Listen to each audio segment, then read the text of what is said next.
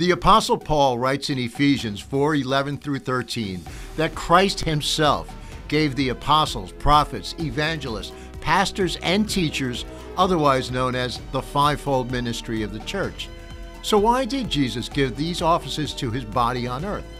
Glad you asked, because Paul answers this in the following verses to equip his people for works of service, so that the body of Christ may be built up until we all reach unity in the faith and in the knowledge of the Son of God and become mature, attaining to the whole measure of the fullness of Christ.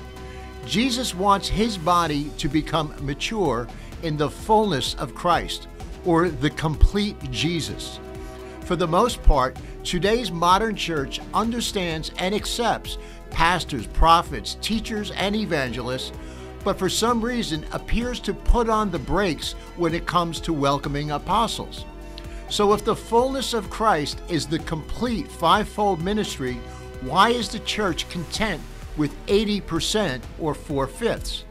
Join us now as we unpack church history, modern day revelations, and understanding with renowned scholar and apostle Kathy Bixel in What Happened to the Apostles.